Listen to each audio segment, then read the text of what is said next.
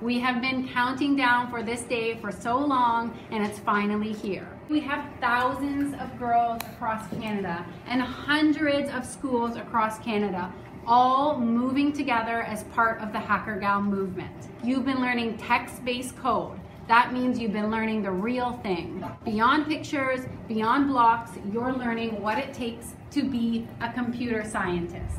Uh, today I'm doing the hackathon as a hacker girl on Lynx. It is a Hackergal movement where girls across Canada code together at the same time. So they've been working really hard in their schools from coast to coast and this is a cumulative event where they get to apply their knowledge and their coding skills to a hackathon where they code all day from morning till the end of the school day uh, connected to a social impact theme.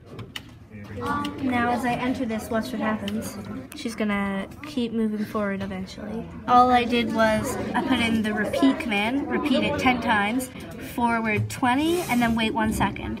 I like the way you can just write out a thing enter it and the computer will like take these words that you've written and it'll turn it into like a whole scene and I love putting that sort of thing together. It's just like magic.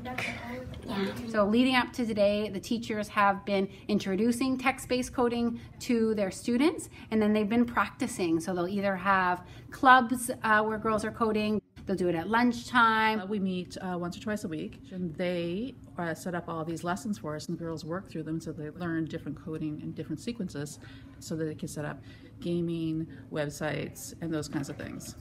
Coding, where you have to actually write commands, is a lot harder than I thought, but it's like getting easier. I was a little confused on how the code worked, but in like a week or so, I was laughing at the things that I could make. I felt surprised that I actually made it. I felt proud that I made it. It's really interesting, and uh, someday I want to create my own game. Our research shows that girls' resilience in coding and with computer science will increase if they learn in a fun, supportive way. So we think it's so important that girls are learning in a space that is carved out for them, where they can be coding in their classrooms, but also part of a movement where they know there are hundreds and thousands of girls doing this together. It was like a place where I could connect with similar girls like me that had like the same passion and talent.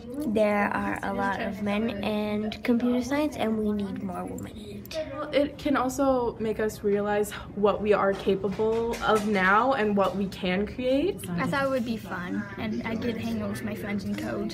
So the live video call is one of the highlights of the hackathon. It's when we connect all of the hundreds of schools from across Canada at the same time to be able to show girls that you may have been coding in different communities all over the country, but we're all doing it together and you're connected with hundreds of other girls in Canada. I think it's just a fantastic program. I highly recommend it to anybody to, to promote it in their schools. Hackergal is federally funded by the government's CanCode program, so all of our resources are free of charge for schools and for teachers.